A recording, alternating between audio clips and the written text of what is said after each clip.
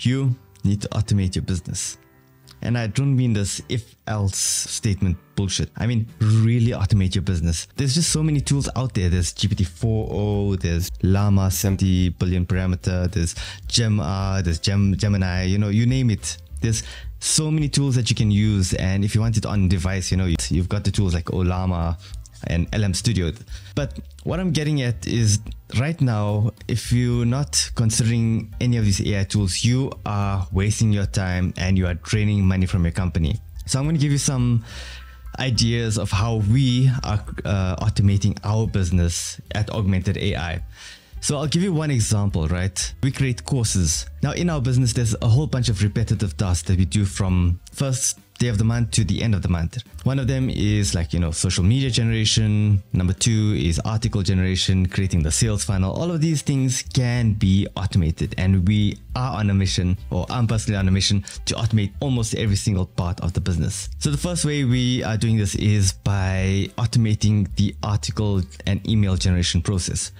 So we used to pay people $50, 20 to $50 per email Imagine that. That's $500 on the table every single month. Imagine how much better we can spend that, you know? now, obviously, you can go to ChatGPT and generate articles, but now in ChatGPT, you're going to be asking, you know, you're going to be prompting, do this email for this topic, right? And then do the next thing, which is, okay, refine it like this, refine it like that.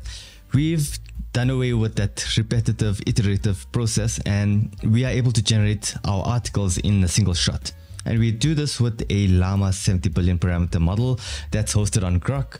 And it works super fast, it works super well, and we've refined our prompts in such a way that you know we just click we just type in what the topic is and we have everything there. It inserts the articles and the images and whatever the links that we want. It does it all in a single shot. So we save all of that time just by coding a simple app for ourselves right? That's just one way that we are doing this so the other way that we are saving money is from voiceovers. Now we have lecturers, human lecturers that create the lectures for us, but they don't have the best speaking ability, right? So we take the transcript that we get from them and we send them to our voiceover artists, right? The biggest problem besides for the cost, which is $300 for maybe uh, a course, maybe even more, is that it takes them two to three days for a single 30 minute lecture. Two to three freaking days for a 30 minute lecture. It shouldn't take more than 30 minutes in order to generate a 30 minute voiceover. But yeah, we, it, it takes us that long. And now we've automated that whole process with AI. Because now from $300 using OpenAI API, it brings us down to under $1 for that same set of lectures. It's pretty amazing. And the best part is that the turnaround time is under one to five minutes. It's amazing. Now I know text to speech doesn't sound the best right now, but that will improve with time, but it's best to get the systems in place right now so that when the technology improves, your technology automatically improves as well. So you have a choice between, you know, OpenAI API, which does a decent job, and there's also ElevenLabs, which is I think, in my opinion, the best text speech out there right now. There are other ones that you know you may know of, but we will be exploring those in uh, the near future. What I'm getting at is that you need to learn how to code or learn how to create these tools so that, you know, for me, I love Python. I'm used to it and I've been coding Python for many years. You don't need to, okay, having basic logic on how to code is important, right? Knowing the syntax is important. But with the help of like ChatGPT or even like an open source model like CodeQwen 1.5, which seems to be working quite well, and Phi 3, those models work well in my PyCharm IDE. Yes, I'm a PyCharm me rather than a VS Coder. I don't know everything in Python, right? I'm not the best coder in the world, but I enjoy it. I enjoy creating these new tools and automating my business. And I get ChatGPT and all of these large language models to do the heavy lifting for me, to create the code that I myself would not be able to create. Or even if I did create it, it would take me probably three to four days longer to get that code, whereas ChatGPT can help me get to that point in time or automating the task much sooner. And that's why we're saving more money also. And so instead of hiring a developer, which can cost up to $1,000 to $2,000 for that same app, you know, I can just ask ChatGPT and it will give me that code in just, you know, just a bit. So all of it's adding up $500 plus another $300 plus another 1,000 to $2,000. You can do the math. It's saving a lot of money. And the other point I want to get at is, you know, stop using third party services, you know. So instead of using Otter, you know, you're paying $11 per month. Some services go up to $22. There's a lot of third party services out there that can say that they're saving you time and money, but instead of going from a 10x improvement, you can go to a 100x improvement just by doing it yourself, you know, using the logic from your brain to say, okay, I want to automate this task. I can use a service, but it's going to cost me a lot more in the long run. But if you do it yourself, you know, you don't have to pay that ongoing cost. You can just run it on device and, you know, Bob's your uncle. Yeah, instead of Otter, you can use a tool like Mac Whisper if you're on Mac. There's some Windows tools as I'm not sure about those. It transcribes your audio, you know, it summarizes it, it gives you subtitles, and it also has AI uh, capabilities which can summarize your entire text very nicely. Look, I get it, you know, not all of us are coders, and if you don't want to learn code, that's perfectly fine. Use tools like, you know, Make or Zapier. Like, I, I know they do cost a monthly fee, and I did say don't use third party services, but, you know, there's tools that can help you automate this task and link from one API to the next and to get this done, you know, just to build, put all of the building blocks together so that you have the bigger picture of how it all fits together. I do this all in Python because, you know, I'm comfortable with it. And that's why I recommend to a lot of my friends, you know, learn a coding language so that you can make miracles in your business. and that brings me to another topic about the Rabbit R1. You know, they say it will help with automation with the large action models. And I get the philosophy. He has this vision where you know, we can automate these different tasks and you have this device, your personal assistant that can help you with all of them, right? So the philosophy is great, but the execution is not. And there's a lot of loopholes. They using playwright scripts and some other things. But when the UI changes of that service like Uber or the delivery service that they ordering from, when those things change, you know, it breaks the script. But let's not get into that whole discussion. Let's focus on, you know, their philosophy, which is you got this large action model, you say what you want to do, and it'll go and do the stuff like, go oh, check my emails.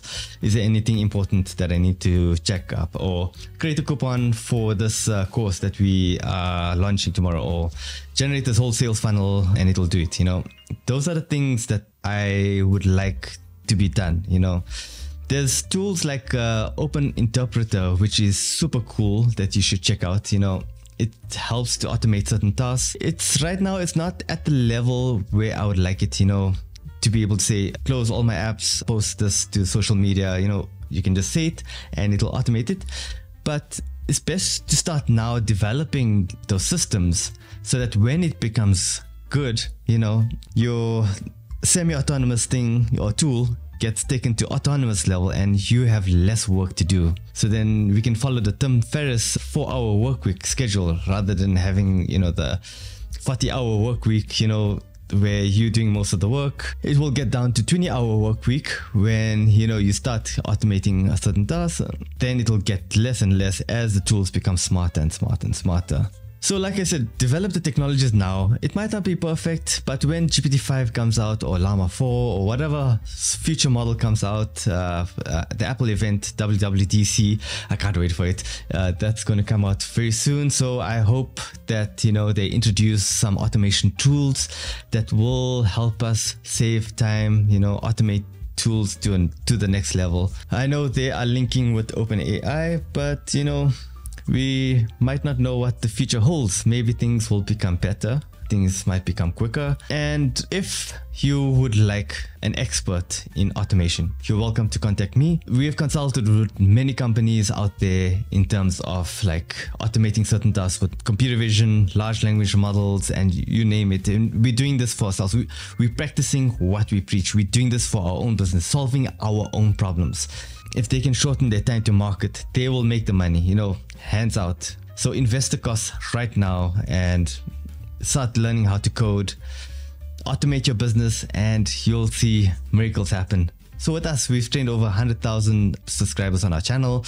And yeah, on my LinkedIn, I have over 44,000 followers and I am the top voice in AI. Yeah, so if you want to get in touch, definitely message me on LinkedIn and I hope you enjoyed this and let me know in the comments down below to say if this podcast inspired you, you know, if if I if you don't like what I've said today, if you disagree with me, yeah, leave it in a comment down below. You know, let's let's open up a discussion of automation. And I know you know people's jobs are going to be taken, and I do understand this is a very very touchy topic, right? But look you're running a business you want to be as profitable as possible right and you see you're seeing this across the board not only in my company right we're not only cutting out people in our company we're not doing this with a mission to getting rid of people's jobs. We're trying to raise our bottom line. We're trying to automate things so that our business can be more profitable. So that the people that work for us right now, you know, the jobs that cannot be automated right now, they can get a salary increase, you know, they benefiting from it. And look, I don't want to be very controversial and say that you know we need to get people get rid of people's jobs. Yeah I, I really don't know how to say this but ai is going to take a lot of people's jobs. And i'm not saying that i'm happy about this or i'm just saying that we are looking to become lean as possible. But there's many companies that like Flipkart, they've I think they've gotten rid of about 7,000 employees because they have uh, automated everything by AI.